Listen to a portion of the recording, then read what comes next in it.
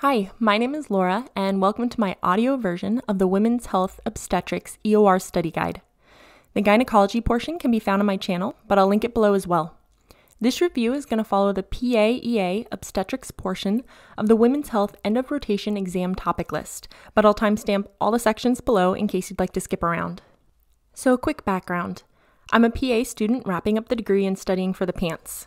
Like most PA students, my clinical rotations required a lot of travel time in the car, so I tried to study using various audio resources. There's a ton of great stuff out there, but nothing quite fit the concise EOR exam based review I was looking for, so I decided to create one. This is the first video series, so we'll see how it goes. Let's start off with a quick review of GPA classification. G is gravida, and it's the total number of times a patient has been pregnant. P is para, and it's the total number of births that occurred after 20 weeks gestation, including both viable and non viable births. Multiple gestations, like twins, count as one here. A is abortus, and this is the total number of pregnancies lost for any reason, including miscarriages and abortions. So, for example, G2, P2 would be two pregnancies and two births. G2, P1A1 would be two pregnancies, one birth, and one miscarriage or abortion. And then G3, P2A0 is three total pregnancies and two births, indicating that the patient is currently pregnant. So now on to the topic list. The topic list begins with prenatal care and normal pregnancy, so let's start with the physiology of pregnancy and the changes that occur in the woman's body.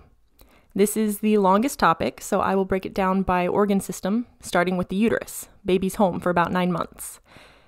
It, of course, increases in size, and this increased capacity is due to hypertrophy, hyperplasia, and mechanical stretching of the smooth muscle. In fact, it can become 20 times larger than it starts out, and it can hold a volume of about 5 liters. During pregnancy, the uterus increases in strength, distensibility, contractile proteins, and number of mitochondria. The uterus can also demonstrate Hegar sign, which is softening of the isthmus, or the lower portion of the uterus that's adjacent to the cervix. Hegar's sign is often present during the first trimester, and it can be assessed on bimanual exam. The cervix itself has some changes too. It forms a mucus plug that seals off the endocervical canal. It also becomes more vascular, which can give it a bluish color and cause significant softening. The cervical softening is called Goodell's sign, and the bluish discoloration of the cervix, as well as the vagina and the vulva, is called Chadwick's sign. And we'll recap all those signs in a minute. So the vagina increases in vascularity as well. The connective tissue loosens to allow for increased distensibility, and physiologic leukorrhea is common. This is just increased vaginal discharge during pregnancy that is clear or milky in color, and it's odorless. It helps to maintain vaginal pH and protect against bacterial infections to the vaginal canal. So let's quick recap those probable signs of pregnancy Hegar, Goodell, and Chadwick's sign. Hegar's sign is the softening of the lower one third of the uterus. Chadwick's sign is the bluish discoloration of the cervix, vagina, and vulva due to increased vascular congestion. I remember it as Chad is a boy's name and blue is stereotypically a boy color, so Chadwick, bluish discoloration. Goodell's sign is the softening of the cervix in pregnancy. I remember it because the cervix is shaped like a donut, which should be good and soft, Goodell, good and soft cervix. Might be a little bit of a stretch. Also, if you remember them in this order, Hegar, Chadwick, Goodell, then their initials spell out HCG, which is the confirmatory test for pregnancy, beta HCG. Okay, the next organ is the placenta. At the very beginning of pregnancy, days 1 to 3 after fertilization, the zygote develops within the fallopian tube, and then it enters the uterus on day 4. On day 5, it becomes a blastocyst as fluid accumulates and it develops poles. The blastocyst has an outer layer of cells that will form the placenta and fetal membranes, and then an inner cell mass that forms the embryo. On day 6, the blastocyst implants into the uterine lining. So the placenta then develops where the embryo or blastocyst implants. and it eventually expands to cover about half of the internal surface of the uterus. It consists of the umbilical cord, membranes, and parenchyma. The placenta also functions as the maternal fetal organ responsible for metabolic functions and nutrient exchange, as well as secretion of hormones and peptides.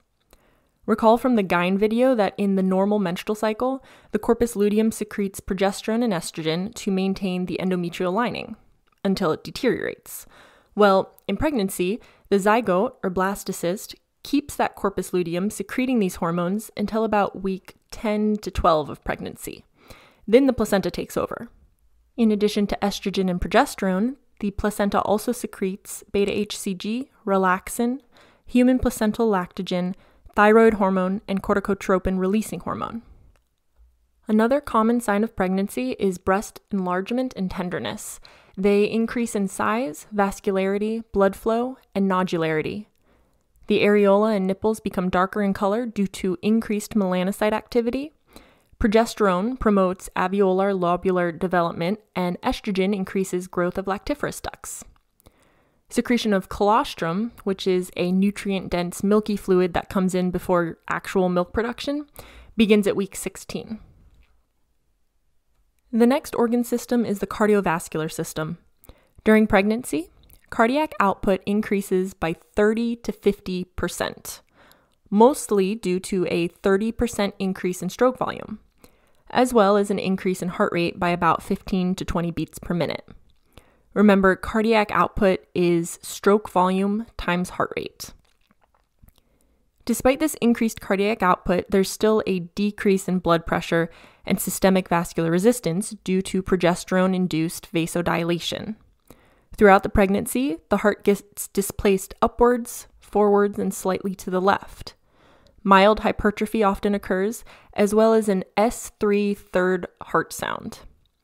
In later stages of pregnancy, especially the third trimester when the uterus is larger, supine hypotensive syndrome is a concern. And this is just a fancy way of saying that the heavy uterus compresses the vena cava when the pregnant woman is laying on her back. This leads to decreased venous return to the heart and is corrected by having the patient lay in the left lateral recumbent position. So just lay them on their left side. A gravid uterus also increases pressure on the veins that drain blood from the legs and the pelvic organs, so this can lead to dependent edema, varicose veins, and even hemorrhoids. In the hematologic system, there's an increase in blood volume by about a liter and a half. Both plasma and red blood cell volumes increase, but plasma volume increases more, which results in a dilutional anemia or physiologic anemia of pregnancy. So, a slightly lower hemoglobin level in pregnant patients is okay and expected. White blood cells also increase, specifically neutrophils, causing a mild neutrophilia. Platelet count actually decreases as pregnancy progresses, but still tends to remain within normal range. Other hematologic changes include increased procoagulant factors, decreased natural anticoagulants, and reduced fibrinolysis. What does this mean? Pregnancy is a hypercoagulable state. More clotting factors and less breakdown of fibrin leads to a higher potential for clot formation, which is great at preventing postpartum hemorrhage, but also something to be aware of for these patients. Next is the respiratory system. Increase in oxygen consumption leads to an increased tidal volume by about 30 to 50 percent but there's a decrease in total lung capacity by about 5% due to displacement of the diaphragm, which is pushed upwards by the growing uterus. So, a super quick review of lung volume terminology. Tidal volume is the amount of air that moves in or out of the lungs with a normal breath. Then there's inspiratory and expiratory reserve volumes. After you inhale normally, in a regular breath, if you were to continue to inhale and fill up all that extra space in your lungs, that extra is the inspiratory reserve volume. Okay, now if you were to take a normal breath and exhale normally, then continue to forcibly exhale all the rest of the air you can out of your lungs, all the rest of that air you get out is expiratory reserve volume. But you can't possibly exhale all of the air out because it's just not possible. But what's left over after that forceful exhale is residual volume. Residual volume, inspiratory and expiratory reserve volumes, and tidal volume together make up total lung capacity. So while total lung capacity decreases just a little bit, tidal volume, the amount inhaled and exhaled, increases by 30 to 50% in pregnancy. Minute ventilation, defined as the amount inhaled or exhaled per minute, also increases by nearly 50% at term. This is primarily due to that increase in tidal volume, but partially due to an increase in respiratory rate as well. Additionally, pregnancy causes mild respiratory alkalosis. This is a result of progesterone induced increase in alveolar ventilation, and this respiratory alkalosis is followed by compensatory renal excretion of bicarb, which maintains the arterial pH at normal to slightly alkalotic. So that was a lot. But lastly, under the respiratory system, there is increased nasal congestion and nosebleeds due to estrogen induced edema. And now onto the GI system. Progesterone causes smooth muscle relaxation, delayed gastric emptying, and decreased peristalsis, which leads to heartburn and reflux, constipation, and nausea and vomiting, often referred to as morning sickness, but it doesn't just happen in the morning. It's very common, and a lot of women find that keeping something in their stomach, like eating saltine crackers or something benign throughout the day, helps to alleviate morning sickness. But it also typically goes away by mid pregnancy. There's also a decreased gallbladder emptying associated with pregnancy, and this can lead to an increased risk of cholelithiasis, gallstones, and intrahepatic cholestasis of pregnancy. Other GI changes include increased saliva production and gums that bleed easily. The urinary system has some obvious changes because the bladder resides underneath the growing uterus. So, urinary frequency, nocturia, and stress incontinence are all common during pregnancy. The kidneys also increase in size with an increased glomerular filtration rate, GFR, by about 40 to 50 percent, and an associated decrease in serum creatinine and BUN. There's increased protein and glucose excretion in the urine as well. Dilation of the urinary collecting system is also common, resulting in physiologic hydronephrosis and or hydroureter in up to 80% of pregnant patients. This dilated collecting system can hold 200 to 300 milliliters of urine, and so it can act as a reservoir for bacteria, which accounts for the increased risk of pyelonephritis during pregnancy. In addition, pregnant patients have higher rates of bacteriuria and UTIs, which is one of the reasons they are screened with urinalysis throughout their pregnancy. Next is the integumentary system. Skin hyperpigmentation during pregnancy is a result of estrogen and increased melanocyte activity. This hyperpigmentation can include melasma, the brown patchy mask of pregnancy on the face can include linea nigra, which is a dark vertical line that runs down the middle of the abdomen, and it can include darkening of the nipples, areola, and the vulva. Stretch marks occur due to a decrease in connective tissue strength, secondary to increased adrenal steroid levels. And estrogen induced vascular permeability leads to spider nevi, angiomas, and palmar erythema. Now, the musculoskeletal system. Abdominal distension in the enlarged uterus can cause a shift in the patient's center of gravity, which can lead to lordosis of the lumbar spine. The growing uterus can also cause separation of the abdominal rectus muscles, which is a condition called diastasis recti. Additionally, some pregnant females adopt a waddling gait. This is because increased progesterone and relaxin hormones cause increased joint mobility. This facilitates widening of the pubic symphysis, accommodation of the fetus into the pelvis, and high bone turnover or remodeling. Endocrine changes are next. The size of the pituitary gland increases in pregnancy due to proliferation of lactotroph cells. There's an increase in parathyroid hormone, which stimulates release of calcium by the bones, absorption of calcium from the food, and conservation by the kidneys in order to meet the calcium needs of the developing fetal skeleton. Pregnancy also causes a physiologic hypercortisolism, increased serum cortisol, as a result of increased corticotropin releasing hormone.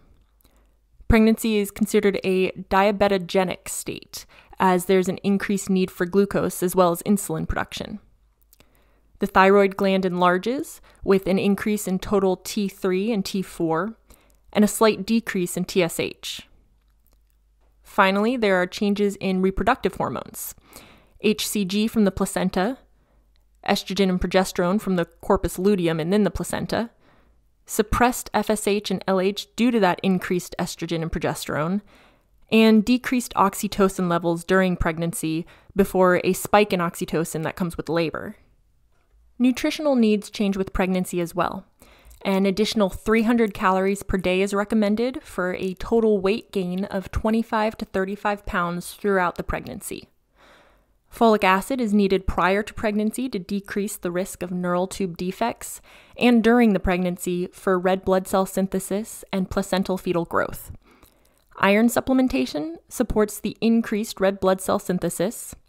Increased protein supports tissue growth, and calcium is important during both pregnancy and lactation. And that wraps up the physiology of pregnancy topic. The next topic is fetal position and size, which becomes very important the closer they get to labor and delivery. Fetal head size is the most critical. If the fetal head is too big for the pelvic opening, called cephalopelvic disproportion, there's a risk of labor dystocia, difficult or obstructed labor, and a C section might be necessary. Similarly, macrosomia, when the baby is much larger than average, generally greater than 9 pounds, there is increased risk of shoulder dystocia and birth injuries. Fetal attitude is the relationship of fetal parts to one another. Ideally, the baby will be in full flexion, chin to chest, extremities flexed, rounded back, with the smallest diameter of the head at the maternal pelvic inlet. Fetal lie is the relationship of the baby's spine to mom's spine, termed cephalocaudal axis. The ideal fetal lie is longitudinal, when the fetal spine is parallel to mom's. A transverse fetal lie is when the fetal spine is perpendicular to mom's, and oblique is when baby is at a slight angle. So we want to see a longitudinal lie prior to labor and delivery. Fetal presentation refers to which part of the baby enters the pelvic inlet first. Baby should be head first, a cephalic presentation, and ideally vertex with fetal chin to chest. Vertex is the most common cephalic presentation and is optimal for delivery, but brow or face presentations are possible too. If the baby is not head first, this is called a breech presentation. Breech can mean bottom first, shoulder first, extremity, etc. And we'll go over this a little more in depth in the complications section. But basically, remember that baby should ideally be head down, face down with a longitudinal lie. The next topic is normal labor and delivery. There are three main stages of labor. Stage one is the onset of labor until full dilation of the cervix to 10 centimeters. Stage two is from full dilation until the delivery of the baby and stage three is postpartum until delivery of the placenta. So let's go through each stage in more depth. Stage one, as we said, is the time from onset of labor to complete cervical dilation at 10 centimeters. But what defines the onset of labor? Per the textbook, it's defined as regular, painful contractions that result in progressive cervical effacement and dilation. But in practice, it's not always easy for a pregnant patient to know whether the contractions she's feeling are true labor or false labor, also called Braxton Hicks contractions. These Braxton Hicks contractions can occur at any point during the pregnancy, but are more common in the later half. They tend to be more mild and irregular or intermittent and do not produce any cervical changes. Sometimes walking can decrease the pain. True labor contractions are regular, increase in frequency and duration, and intensity with radiation to the low back and abdomen, and they produce cervical changes. Other signs of true labor onset include lightening, when the fetal head descends into the pelvis, giving the sensation that the baby has become lighter or has dropped. ruptured membranes, which is a sudden gush or constant leakage of fluid, described by patients saying their water broke. And bloody show or passage of blood tinged cervical mucus when the cervix begins to thin. These are signs that a patient is approaching labor. The first stage of labor is broken down into the early or latent phase and the active phase. The latent phase is characterized by gradual cervical change, whereas the active phase is characterized by more rapid change. And the transition from latent to active normally happens around 5 centimeters dilation, give or take. The latent phase typically lasts 8 to 12 hours, with mild contractions every 5 to 30 minutes for about a 30 second duration. The cervix is somewhere between 0 and 30% effaced or thinned out, and spontaneous rupture of membranes often happens during this phase. The active phase is a little faster, lasting 3 to 5 hours on average, with contractions every 3 to 5 minutes, for a longer duration, around 1 minute or more. Cervical effacement is around 80%, and the fetus begins to descend. As labor transitions into the second stage, sometimes called the transition phase of stage 1, contractions become intense, every minute or two, lasting 60 to 90 seconds with a fully dilated and effaced cervix. Once the cervix is fully dilated to 10 centimeters, stage 2 of labor begins. This can be thought of as the pushing stage. The baby is pushed through the pelvis as determined by the three P's power, passenger, and passage. Power refers to the frequency, duration, and intensity of contractions. Passenger refers to the fetus, the baby's size and position, which we discussed in the previous topic. We want baby to be head down, face down. And passage refers to the baby's route through the maternal pelvis. There are seven cardinal movements of labor to know. First is engagement, when the fetal head reaches the pelvic inlet. Second is descent, when the baby progresses from the pelvic inlet to the pelvic outlet to crowning at the vaginal opening. Third is flexion. The fetal chin presses against their chest as the head meets resistance from the maternal pelvic floor. Fourth is internal rotation. Fetal shoulders internally rotate so that the widest part of the shoulders are in line with the widest part of the maternal pelvic inlet. Fifth is extension, when the fetal head passes under the pubic symphysis and emerges from the vagina. Sixth is external rotation, when the baby's head turns to align again with the rest of its body. And seven, the last movement is expulsion. The anterior shoulder slips under the pubic symphysis, followed by the posterior shoulder, and then the rest of the body. So, the cardinal movements of labor again are engagement, descent, flexion, internal rotation, extension, external rotation, and expulsion and this marks the end of the second stage of labor. The third stage of labor begins after the delivery of the infant and is complete after the delivery of the placenta. This is usually within 30 minutes of the delivery of the infant, but 5 minutes is the average. Essentially, what happens is the uterus begins to contract firmly, the placenta separates from the uterine wall, sometimes there's a flow of blood, and then expulsion of the placenta. Finally, the period one to two hours after delivery, when uterine involution is initiated and the mother is assessed for complications, is sometimes called the fourth stage of labor. Once baby is delivered, the APGAR score is a way to quickly assess the health of the newborn. It's done at one minute and five minutes after delivery, and then again five minutes later if it remains abnormal. APGAR stands for appearance, pulse, grimace, activity, and respiration. A newborn scores between 0 and 2 points in each of these categories, so their total APGAR score will be between 0 and 10. Let's go over the scoring. A newborn scores 2 in appearance if they are pink all over, 1 in appearance if they have a pink core but cyanotic extremities, and 0 in appearance if they are blue or gray or pale all over. A newborn scores 2 in pulse if their pulse is over 100, 1 in pulse if it's under 100 beats per minute, and 0 in pulse if they are pulseless. A newborn scores 2 in grimace if they pull away, sneeze, or cough, one in grimace if they have feeble reflexes, and zero in grimace if they show no response to stimulation. A newborn scores two in activity if they flex their arms and legs and resist extension, one in activity if they show some flexion, and zero in activity if they show no muscle tone. And finally, a newborn scores two in respiration if they have a strong cry, one in respiration if they have weak or irregular breathing, and zero in respiration if they are apneic. So, newborns almost never come out scoring 10 on the APGAR scale. Their heart and lungs are still adjusting to the whole breathing air thing, so it's really used for trending. We want to see the APGAR score increase from minute 1 to minute 5. That being said, a score of 7 or higher is normal and typically doesn't require any interventions. 3 or less is critically low and the newborn requires resuscitation. In between these, between 3 and 7, the score is low but take into consideration trending.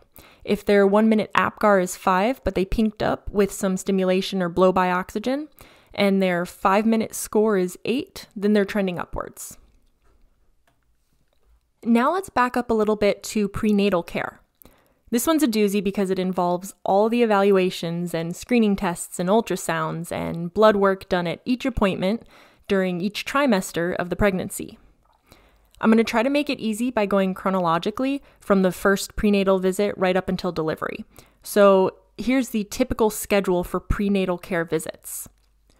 From weeks 4 through 28 of the pregnancy, beginning whenever they find out that they're pregnant, the patient has an appointment every four weeks. From weeks 28 to 36 of the pregnancy, the patient has an appointment every two weeks.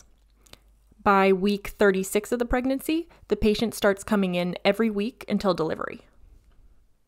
So, at the very first prenatal visit, confirmation of the pregnancy should be done by beta HCG in a blood or urine sample. A full history and physical exam should be done as well, including a pap smear if they're due for one.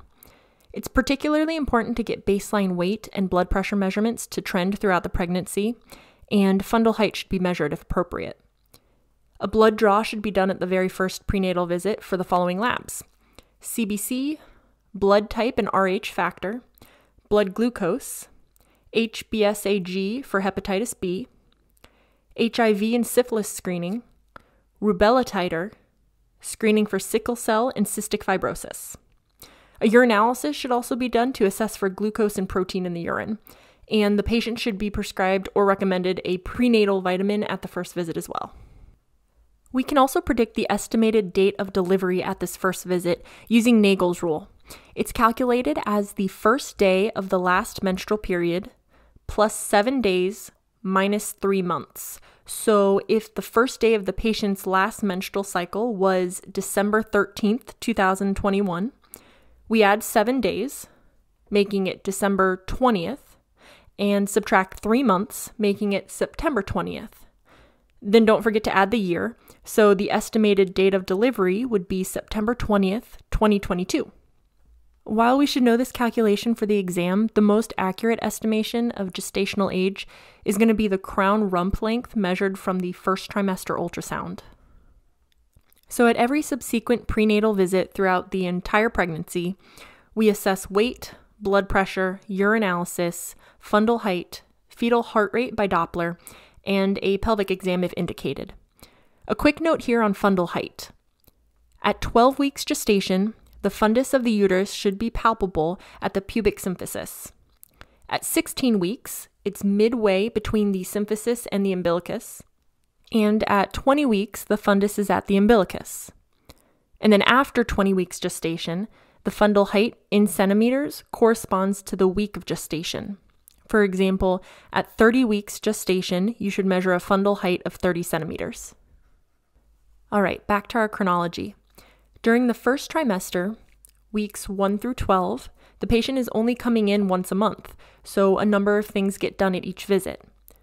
The first trimester ultrasound, if it wasn't done at the first prenatal visit, should be ordered.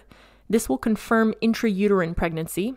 It'll estimate gestational age, give us a heads up to potential complications, and the fetal heartbeat can be heard by ultrasound by six weeks. Screening tests for Down syndrome can be done around weeks 11 to 14 by assessing beta HCG and pregnancy associated plasma protein A in the blood, combined with nuchal translucency measured on the ultrasound. Down syndrome is associated with higher than expected beta HCG, lower pregnancy associated plasma protein A, and increased nuchal translucency. Cell free fetal DNA screening can be done as well. This is non invasive and analyzes fetal DNA in the mother's blood in order to screen for trisomy 13, trisomy 18 or Edwards syndrome, and trisomy 21 or Down syndrome. Any positive test results should be confirmed by chorionic villus sampling or amniocentesis. Chorionic villus sampling can be done in weeks 10 through 13 and is done by collecting a placental tissue sample to test for chromosomal and genetic abnormalities. There are a number of risks and complications associated with chorionic villus sampling, including miscarriage, amniotic fluid leakage, transmission of infection like HIV, and maternal alloimmunization, which is related to Rh factor in the blood. Because of these serious risks, it's commonly offered to patients who have a reason for prenatal genetic diagnosis, like maternal age over 35 years, a previous child with chromosomal or genetic abnormality, parent carrier of a chromosomal or genetic disorder, congenital anomaly on the first trimester ultrasound exam, and to confirm the cell free fetal DNA screening, like we just talked about. During the second trimester, weeks 13 through 27, the patient is still only coming in once a month.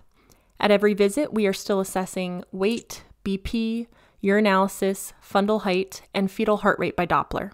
But there are a lot of other screening tests that need to get done or be offered during the second trimester. The triple screen is offered between weeks 15 through 20, and this assesses alpha fetoprotein, or AFP, beta HCG, and estradiol. It can detect neural tube defects and trisomies. Similarly, a quadruple screen does the same thing, but it includes inhibin A, so it's more accurate and more commonly used. So let's go over some common results for these tests. Down syndrome or trisomy 21 test results show decreased AFP, increased beta HCG, often twice as high as normal, decreased estradiol, and increased inhibin A. Edwards syndrome, or trisomy 18 test results, show decreased AFP, beta HCG, and estradiol. All are decreased in Edwards except for inhibin A, which can be normal. Open neural tube defects like spina bifida and abdominal wall defects have high AFP. High AFP can also be normal in multiple gestations, though, like with twins. Um, and ultrasound is actually preferred to diagnose neural tube defects. Amniocentesis is another test that can be offered in the second trimester. It's a collection of a sample of amniotic fluid that can be done in weeks 15 through 20. Amniocentesis is similar to chorionic villus sampling and has the same indications like maternal age over 35, abnormal screening tests or ultrasound, or prior child with chromosomal abnormality. The difference is that chorionic villus sampling is offered earlier at the end of the first trimester, and amniocentesis is later at the beginning of the second trimester. But amniocentesis can detect more abnormalities, specifically neural tube defects. There's also an ultrasound in the second trimester, referred to as the anatomy scan. This is the one that everyone looks forward to because it reveals the sex of the baby. A lot of measurements are taken at this ultrasound to assess fetal anatomy and to detect any abnormalities. It also screens for short maternal cervix length, which has an increased risk of preterm birth. And the last major second trimester screening test is the glucose challenge test, also called the one hour glucose test. This test is administered between weeks 24 and 28, or earlier if the patient has significant risk factors for diabetes. During the test, the patient drinks a sugary soda like beverage with 50 grams of glucose, and then one hour later, their blood sugar is measured. If this test is abnormal, meaning the blood sugar is too high, it's followed up with a 75 gram, two hour glucose tolerance test. But more on this later. Finally, lab work is reassessed for anemia and Rh factor in the second trimester. Remember, pregnancy has an associated physiologic dilutional anemia, so we expect lower values for hemoglobin and hematocrit, but still need to make sure that there's no severe anemia. Also, iron and folate deficiencies can result in anemia due to the increased iron and folate requirements of pregnancy. We also recheck antibody titers in the blood at this time, since Rh factor was initially checked at the very first visit. If the mother's Rh negative, she gets the first anti D immune globulin injection, also called a RhoGAM shot, at 28 weeks. Then the second RhoGAM injection is within 72 hours of delivery.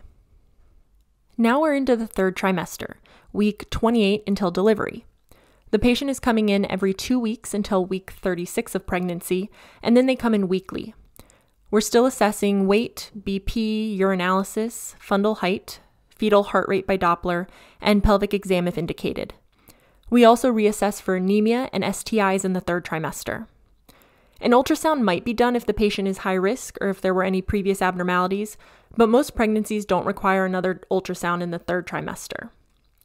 During weeks 35 through 37, the patient gets swabbed for group B strep. This is a vaginal rectal culture, so the swab goes from the vagina to the anus. And if positive, the mother simply gets IV antibiotics during labor to prevent group B strep in the newborn. Other tests that might be performed during the third trimester include a non stress test or even a full biophysical profile. These assess fetal well being and might be done more often in high risk patients, especially in the case of gestational hypertension or diabetes, post term pregnancy, intrauterine growth restriction, increased maternal age, previous pregnancy complications, or to assess decreased fetal movement. Some providers will also do them routinely. A non stress test, also called an NST, is continuous electronic monitoring of fetal heart rate combined with monitoring fetal movement. Heart rate acceleration in response to fetal movement is a sign of a healthy baby. A normal baseline fetal heart rate should be between 120 to 160 beats per minute. A healthy reactive NST has two or more accelerations in a 20 minute period. And an acceleration is defined as an increase in heart rate by 15 or more beats per minute, lasting at least 15 seconds. If there are not at least two accelerations, or if there are decelerations, it's considered a non reactive NST and could indicate fetal distress. Or it could just mean that baby is sleeping. So, vibroacoustic stimulation can be done and then a repeat NST, or a full biophysical profile. A biophysical profile combines an ultrasound with a non stress test to measure five variables fetal breathing, fetal heart tones, fetal movement, amniotic fluid levels, and the NST. The last thing we need to go over is interpretation of NSTs and their etiologies, since you might see them on the exam. The acronym to use is VEAL CHOP. VEAL stands for variable decelerations, early decelerations, accelerations, and late decelerations. These are all the possible results of the NST. CHOP refers to the causes of these results. So CHOP stands for cord compression, head compression, O is okay, and P is placental insufficiency. So the V in veal corresponds to the C in chop, and the E corresponds to H, and so on. Variable decelerations on NST are caused by cord compression, often the baby's head on their umbilical cord. Early decelerations are caused by head compression, like the baby's head descending into the pelvis. Accelerations are okay, meaning they're a normal, healthy sign. And late decelerations, more worrisome, are caused by placental insufficiency. All right, good work. We've finished the prenatal care topic. The last topic under normal pregnancy is multiple gestations.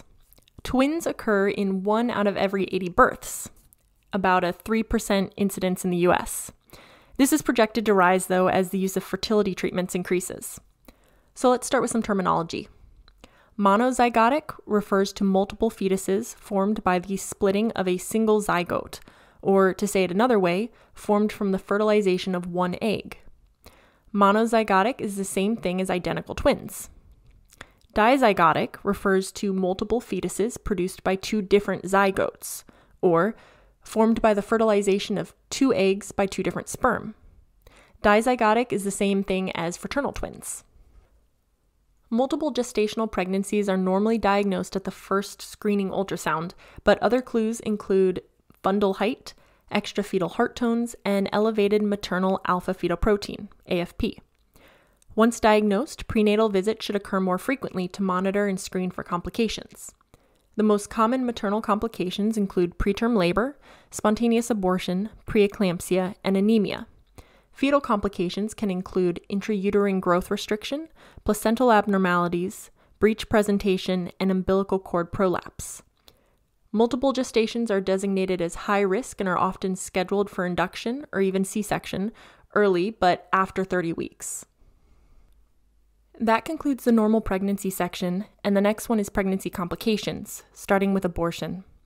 Spontaneous abortion, or miscarriage, is an expulsion of all or part of the products of conception before 20 weeks gestation. The incidence of spontaneous abortion is at least 15 to 20% of all pregnancies, and 80% of those occur in the first three months. By far, the most common etiology is fetal chromosomal abnormalities, which are responsible for 50% of all spontaneous abortions. Other risk factors include smoking, maternal infection, uterine defects, endocrine abnormalities, malnutrition, trauma, and drug use. If spontaneous abortion is suspected, order an ultrasound to assess fetal viability, quantitative beta HCG, CBC, blood type, and antibody screen to determine if the patient needs a RhoGAM injection. Treatment is based on what type of spontaneous abortion is occurring. Threatened abortion means that the pregnancy might be viable or a miscarriage might occur. It presents with bloody vaginal discharge, either spotting or profuse bleeding, and possible contractions, but with a closed cervix and no products of conception or tissue expelled from the uterus at this point. Treatment is supportive, rest at home, monitor beta HCG to see if it's doubling, and threatened abortion occurs before 20 weeks. Actually, all of these occur before 20 weeks. Inevitable abortion means that the pregnancy is not salvageable.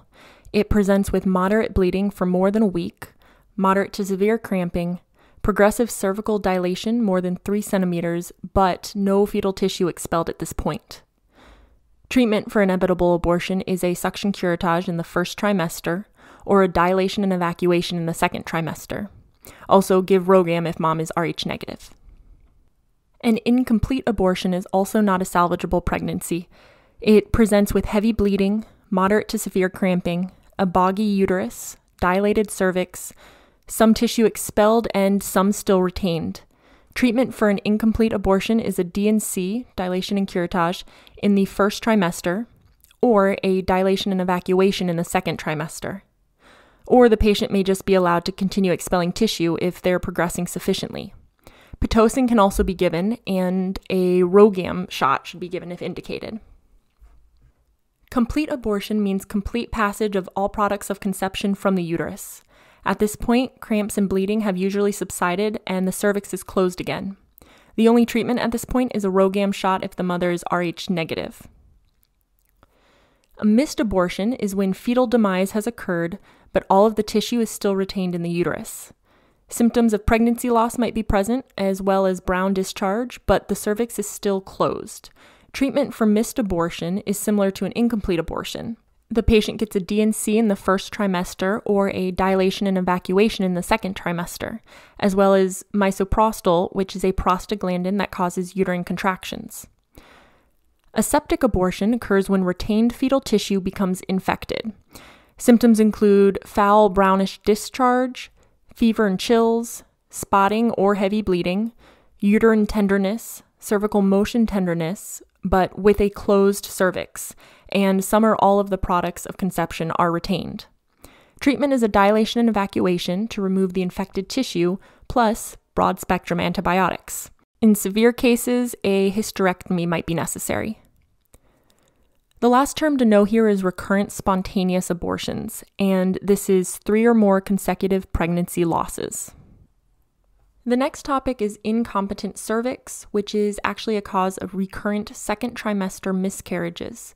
So, incompetent cervix or cervical insufficiency is defined as a spontaneous premature dilation or shortening of the cervix during the second trimester, or sometimes the early third trimester. It presents with recurrent miscarriages. Risk factors include a history of cervical insufficiency, surgery, injury, or anatomic abnormalities. A pelvic exam will show painless dilation greater than 2 centimeters, as well as effacement of the cervix. Bleeding or discharge may be present, as well as minimal contractions. Incompetent cervix is diagnosed with a transvaginal ultrasound. Treatment is a cervical cerclage, which is basically just a suture to strengthen the cervix, and this is placed at 12 to 14 weeks gestation. It's then removed at 36 to 38 weeks to allow for delivery. The next topic is placenta previa. This is a condition in which the placenta implanted very low in the uterus and is covering part or all of the cervix. This occurs in about 1 in 200 pregnancies. It can be complete, covering the entire cervical os, partial, covering a portion of it, or marginal, meaning that it's within 2 centimeters of the cervical os. Placenta previa is characterized by sudden onset of painless third trimester bleeding. There is no pain or tenderness associated with this bleeding. There is usually no fetal distress either. Risk factors include increasing age, multiple gestation, and smoking. Diagnosis is made by pelvic ultrasound to locate the placenta, and sometimes diagnosis is already known prior to any bleeding episodes due to routine ultrasounds.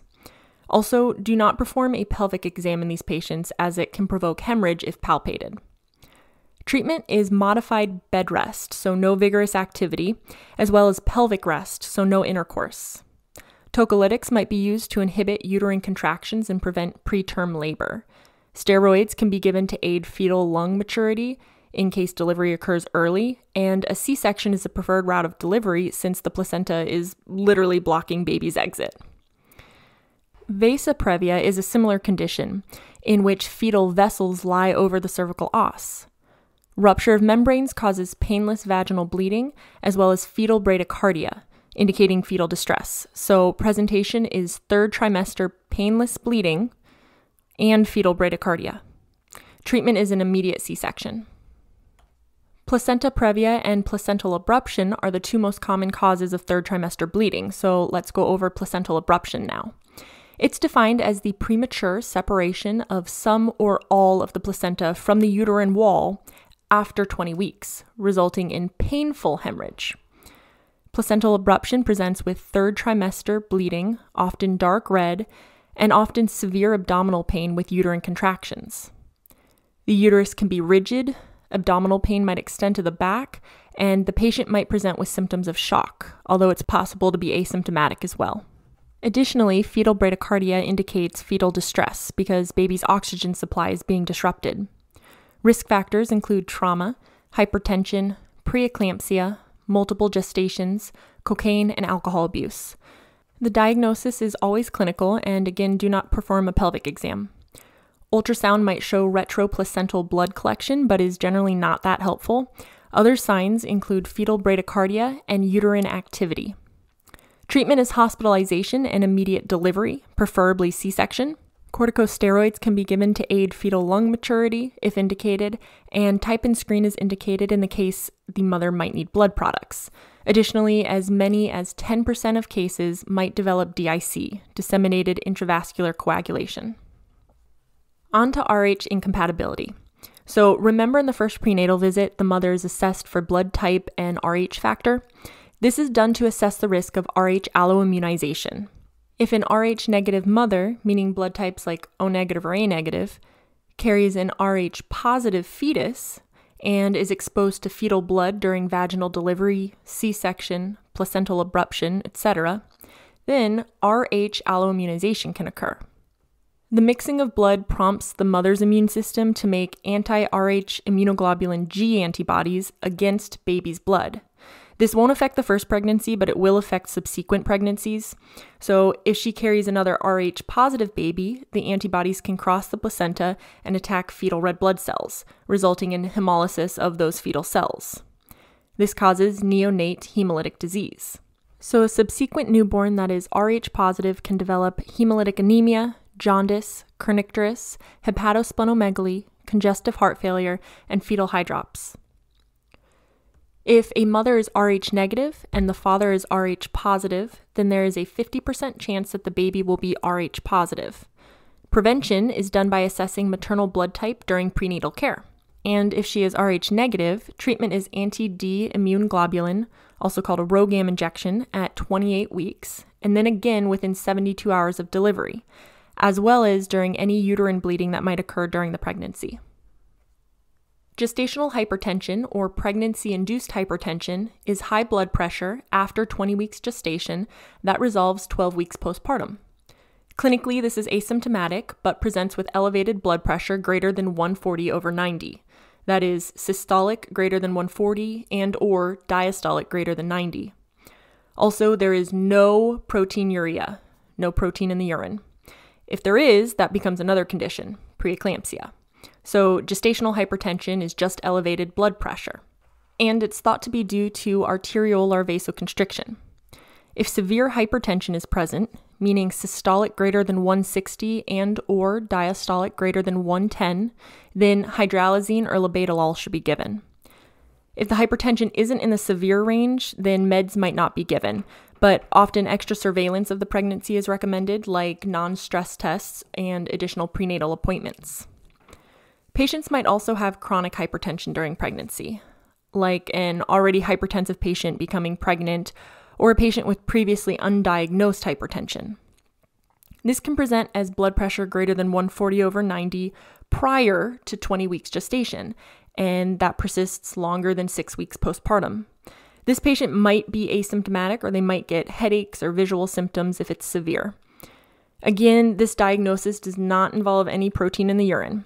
For patients with chronic hypertension during pregnancy, if blood pressure is greater than 150 over 110, treatment is methyldopa, but you can also use labetalol, hydralazine, and nifedipine. So we said that gestational hypertension does not involve proteinuria. If there is hypertension with proteinuria, the diagnosis is either preeclampsia or eclampsia. So let's go over those now. Preeclampsia is a classic triad of hypertension and proteinuria, with or without edema, after 20 weeks gestation. If these symptoms occur earlier than 20 weeks, it could be a sign of multiple gestation or a molar pregnancy. And we'll go over that later. Other clinical manifestations of preeclampsia include symptoms of hypertension like headaches, fetal growth restriction, and the edema of the face, feet, and hands. Mild preeclampsia is defined by blood pressure greater than 140 over 90 and proteinuria greater than 300 milligrams or more than plus one on a urine dipstick. The only cure for preeclampsia is delivery. So, for mild preeclampsia, delivery should occur at 37 weeks or later.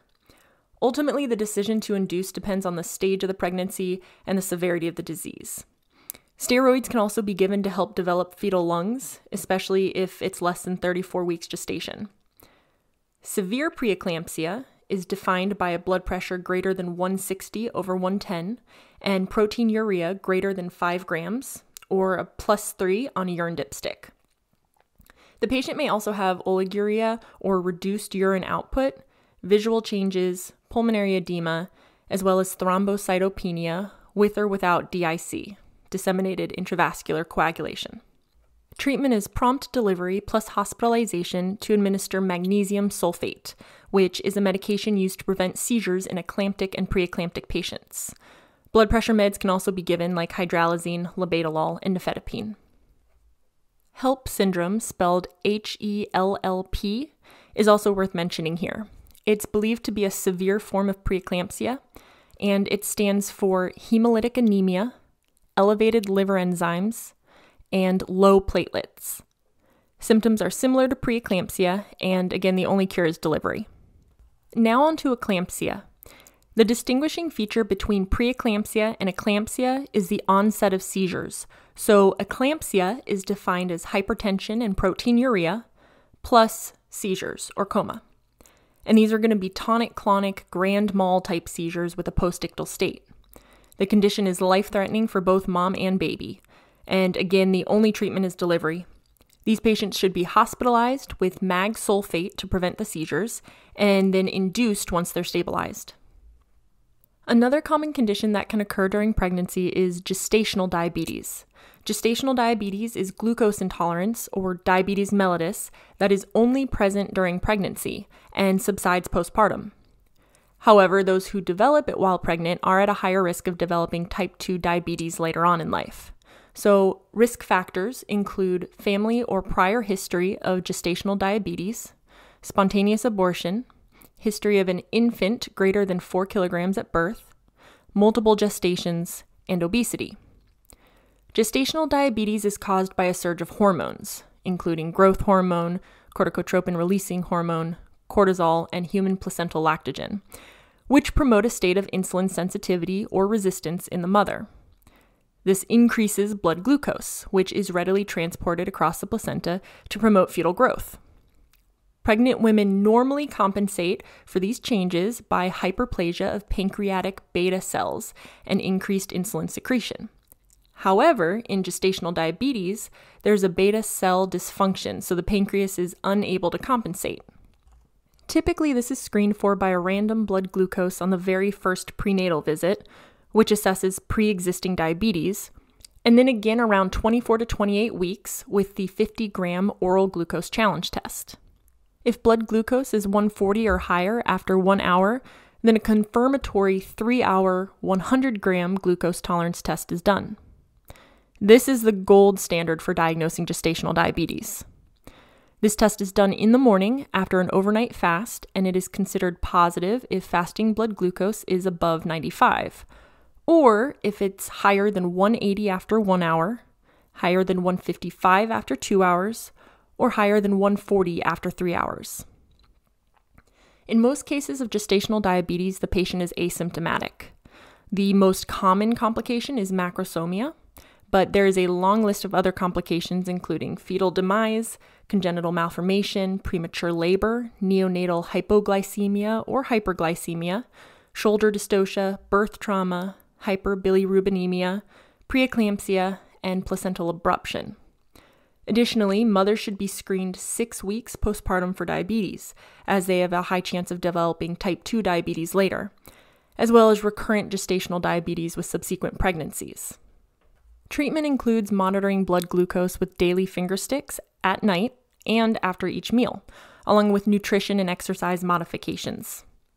If fasting blood glucose is still greater than 105 or a two hour postprandial glucose is greater than 120, then insulin should be considered.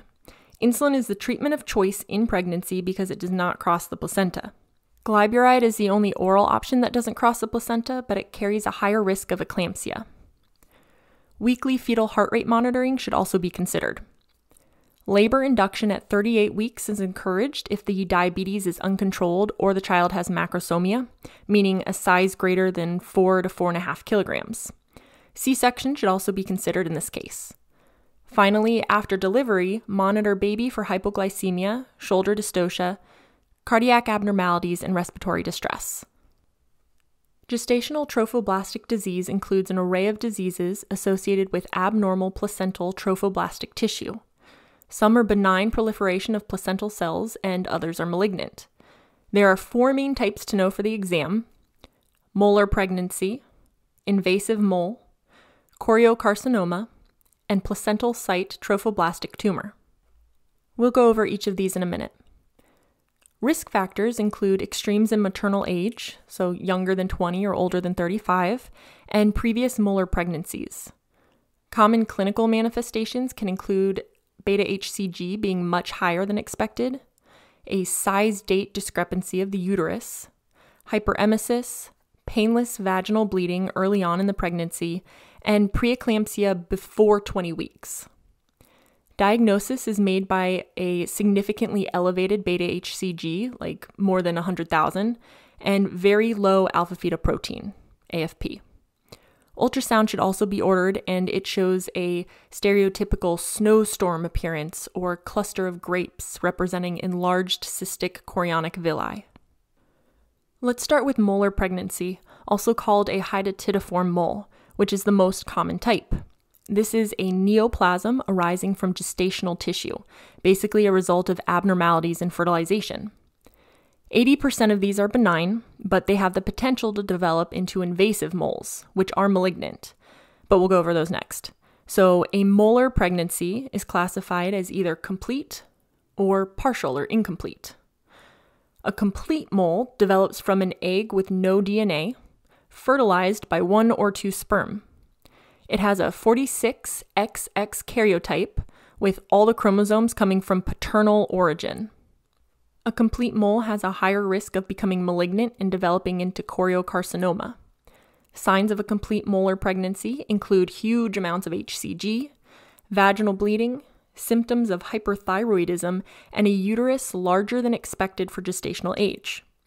Ultrasound shows a snowstorm appearance or grape like mass with no fetal parts seen and no heart rate. The other classification of molar pregnancy, a partial mole, develops from an egg that is fertilized by two sperm. It has a triploid karyotype, like 69XXX or 69XYY. There might be development of the fetus, but it is always malformed and never viable. Signs of a partial molar pregnancy include increased beta HCG, but not as much as a complete mole. The uterus is not larger than expected, and most result in a spontaneous abortion. Ultrasound findings might include fetal parts in a gestational sac. While both complete and partial moles are benign, they are considered pre-malignant because they can develop into invasive moles. Treatment for both complete and partial moles is uterine evacuation by suction curettage. This is done as soon as possible to reduce choriocarcinoma risk and administer RhoGAM if indicated. Follow up involves weekly serum beta HCG levels until it falls to undetectable levels for three consecutive weeks. Then, after that, serum HCG gets measured every month for six months. This is because a rise in HCG could indicate invasive mole or choriocarcinoma, so that's what we're monitoring for. Advise the patient to avoid pregnancy for one year after a molar pregnancy. So let's go through invasive moles next. They always develop from a molar pregnancy and are always malignant. They are also more common following a complete mole rather than a partial mole. Clinical signs of an invasive mole might include persistent abnormal uterine bleeding and a boggy uterus.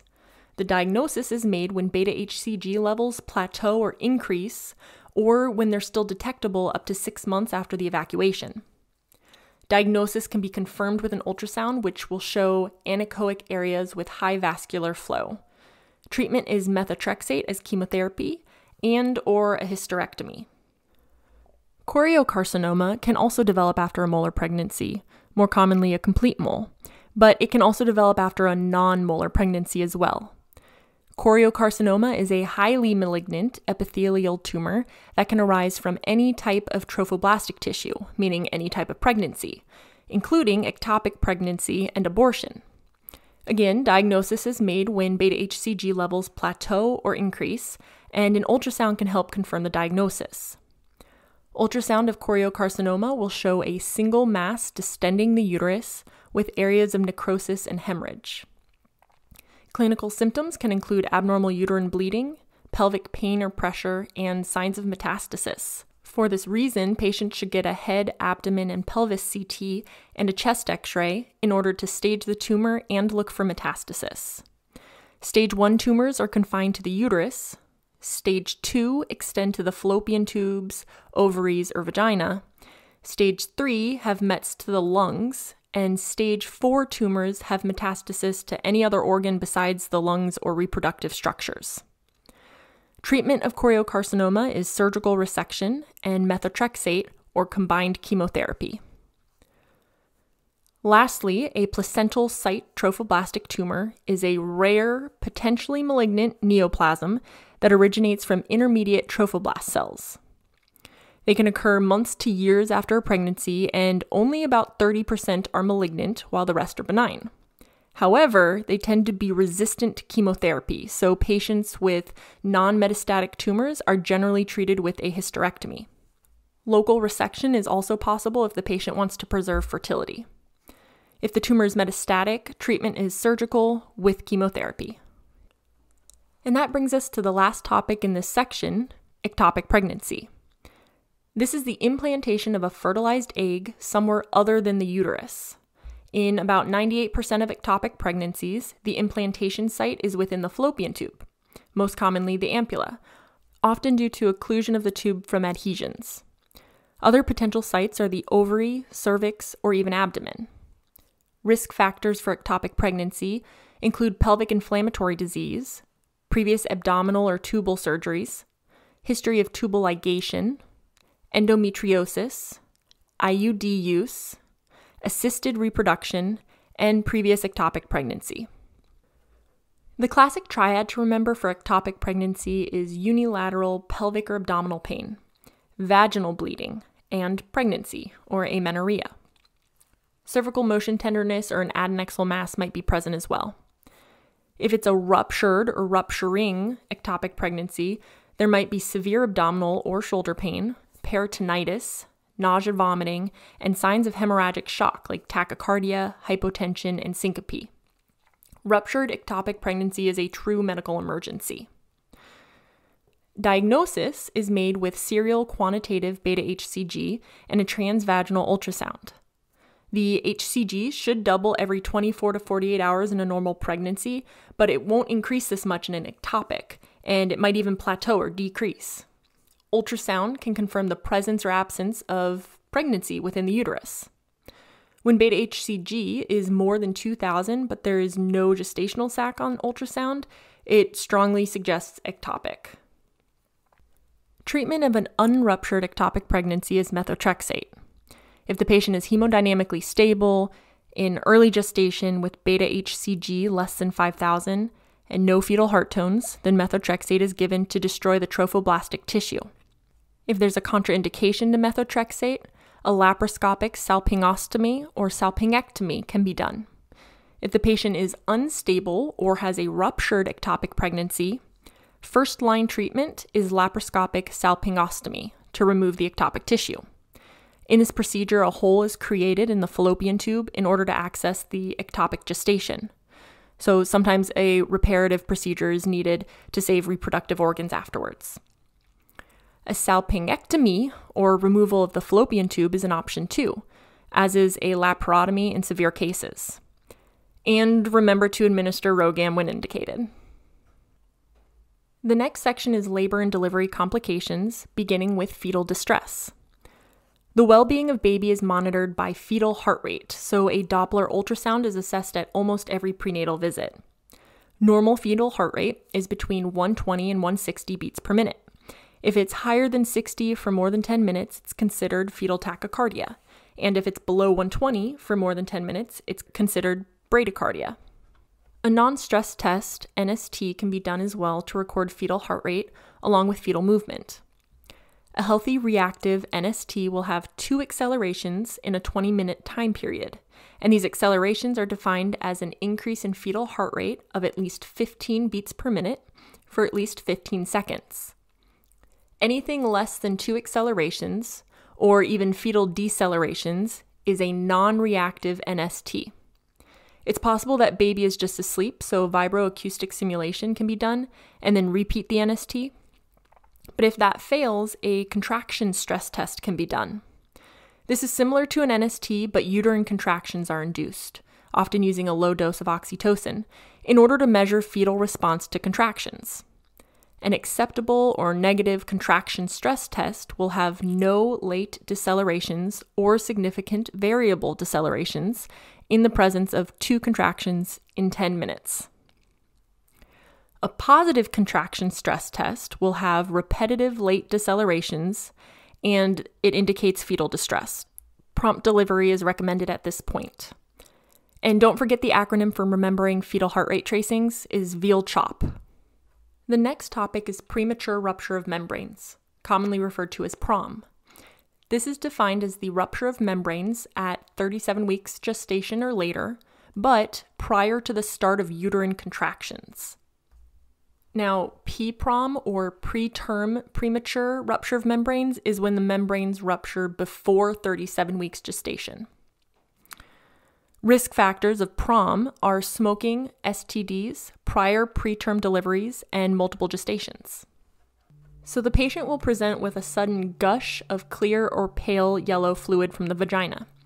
Diagnosis is made by confirming that this fluid is in fact amniotic fluid. First, on speculum exam, you'll see pooling of secretions. then a nitrazine and or Fern test can confirm it's amniotic fluid. A nitrazine paper test will turn blue if the pH of the fluid is greater than 6.5, meaning that prom is likely. And under a microscope, the fluid will develop a fern pattern when it air dries. This ferning is the crystallization of the amniotic fluid, a positive Fern test. The major complications associated with premature rupture of membranes are infection, like endometritis, and umbilical cord prolapse. So, treatment involves hospitalization and induction of labor, depending on the gestational age. For PROM, meaning that the patient is at 37 weeks or more, simply await spontaneous labor. For PPROM, induce labor if the pregnancy is greater than 34 weeks. If it's less than 34 weeks, assess fetal lung development, consider steroids and antibiotics, and then induce. A prolapsed umbilical cord occurs when the umbilical cord comes out of the uterus prior to or with the baby. This is an obstetric emergency. If the cord is compressed too much or for too long, it can lead to fetal hypoxia, brain damage, or death. In fact, the first sign of a prolapse cord is a sudden and severe decrease in fetal heart rate that persists. Remember that VEAL CHOP acronym? V is variable deceleration, and it lines up with C, which is cord compression. Well, on fetal heart rate tracing, this would look like a moderate to severe variable deceleration. This is an emergency, and treatment is immediate C section. Prior to the C section, sometimes it's also necessary to manually elevate the presenting fetal part up off of the prolapsed umbilical cord and maybe place mom in a knee chest position as well. Preterm labor is defined as the delivery of a viable infant before 37 weeks gestation. Risk factors include smoking, cocaine use, incompetent cervix, infection, uterine malformations, and low pregnancy weight. Remember that labor is described as regular uterine contractions with progressive cervical changes, meaning dilation and effacement of the cervix. If you're uncertain about the diagnosis, assess the cervix. If it's 2 to 3 centimeters dilated and or more than 80% effaced, this indicates labor. Speculum exam might show pooling of vaginal fluid from the rupture of membranes, and you can use the nitrazine pH paper test or the Ferning test to confirm that that fluid is amniotic fluid. Also, fetal fibronectin can be assessed in vaginal secretions. Fetal fibronectin is the most clinically useful test to determine whether a woman is at risk for preterm delivery. Presence of this protein between 20 and 34 weeks gestation with labor symptoms strongly suggests preterm labor. Once a diagnosis is determined, it's important to rule out infections like UTI and group B strep and to assess fetal lung development. The earlier a baby is born, the greater the risk of health complications, especially within the respiratory system. Treatment should start with hospital admission and assessment for infections. Steroids like betamethasone should be given to enhance fetal lung development, and tocolytics should be administered to relax the uterus and suppress contractions. These tocolytics are generally only given for 24 to 48 hours, though, so that the steroids can take effect on the baby. They rarely delay delivery more than 48 hours. Other drugs can delay delivery for longer but also have more side effects. Some of these meds are indomethacin, calcium channel blockers like nifedipine, and beta agonists like terbutaline. Lastly, if an intrauterine infection is present, antibiotics should be started and delivery should not be delayed. The next topic is breech birth. Remember, the ideal fetal position is head down, face down, meaning the baby's face is to mom's back, with a longitudinal lie and fetal chin tucked to chest. When baby is not head first, this is called breech presentation. And about 3 to 5% of term pregnancies are breech. There are a few different types to go through complete, incomplete, frank, and shoulder. Complete breech occurs when fetal hips and knees are both flexed, so baby's butt presents first. Incomplete breech occurs when one or both hips are not completely flexed, so a foot presents first. This is also called a footling. Kind of cute.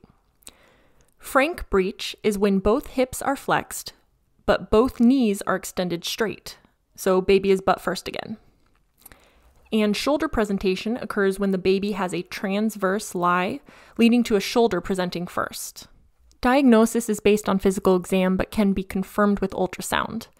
If the patient is at or near term, an external cephalic version can be tried, where the provider manually manipulates the fetal position by pushing on the mother's abdomen. This is not a gentle procedure, by the way. And it's not always successful or possible, so depending on the stage of labor, a C section delivery should be considered.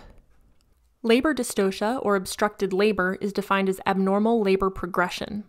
This can cause fetal distress and hypoxia, as well as risk of maternal infection, uterine rupture, and postpartum bleeding. The most common causes of dystocia include a small maternal pelvis, poor contractions, and fetal macrosomia. There are three categories of dystocia problems of power, like uterine contractions, problems of passenger, meaning fetal size or position, and problems of passage through the birth canal. One common type of passenger associated dystocia is shoulder dystocia. This occurs when one or both fetal shoulders are lodged at the pubic symphysis after delivery of the head, and it might present with turtle sign, which is retraction of the delivered fetal head towards mom. Shoulder dystocia can be managed with McRoberts maneuver, which is hyperflexion of the maternal hips and knees followed by application of suprapubic pressure. Wood's corkscrew maneuver is another option, and this involves rotation of the fetal shoulders 180 degrees. And if these are unsuccessful, a C section might be required. Treatment of abnormal progression of labor depends on the stage and whether it's caused by power, passenger, or passage. For a prolonged latent stage, ambulation is often suggested. For a prolonged active stage, oxytocin can be given to increase power of uterine contractions.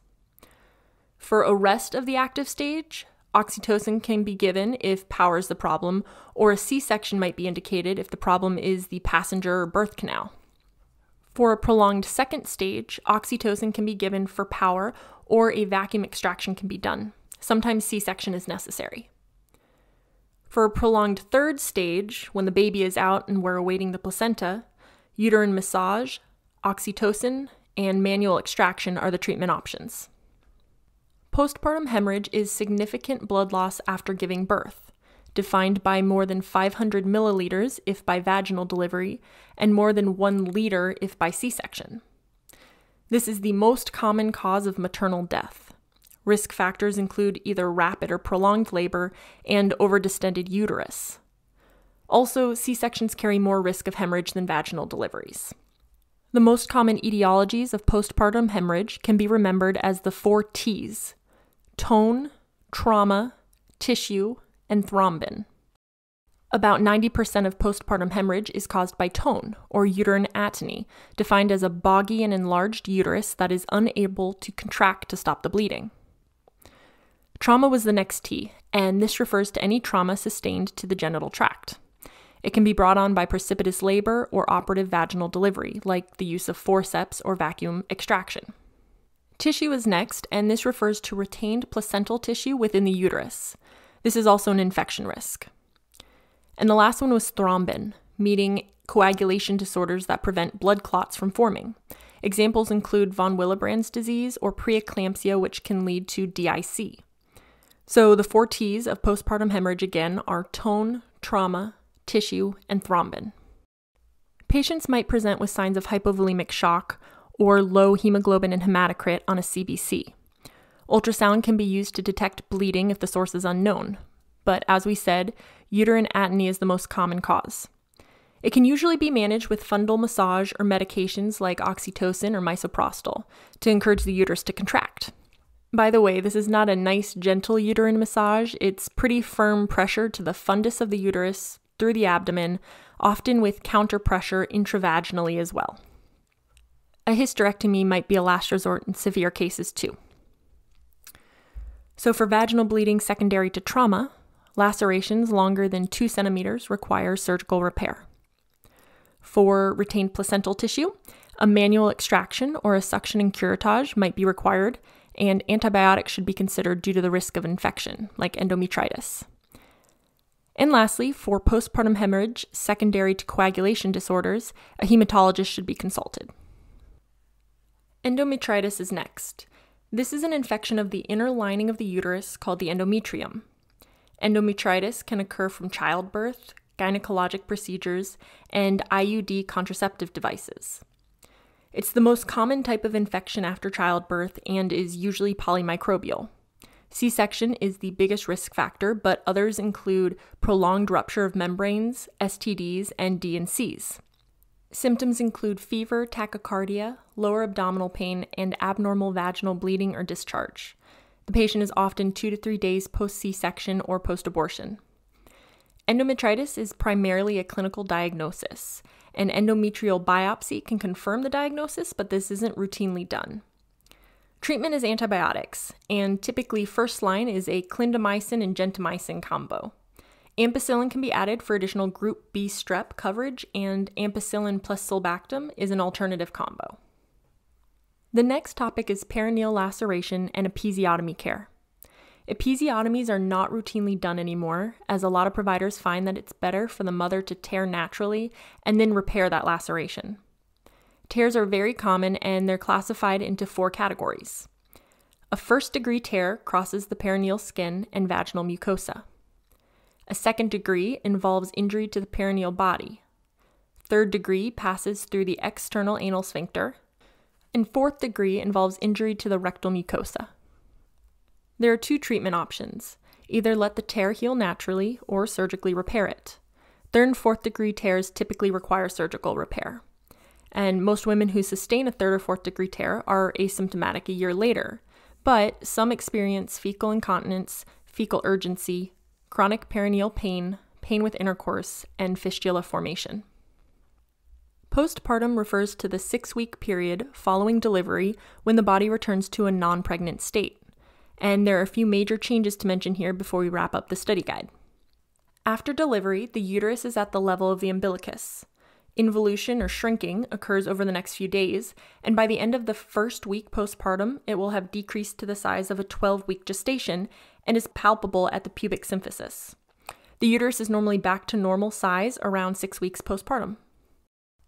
Normal postpartum discharge begins as lochia rubra, meaning red, and contains blood and shreds of tissue.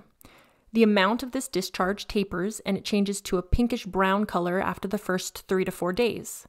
This pinkish brown discharge is called lochia serosa and it lasts for about another week.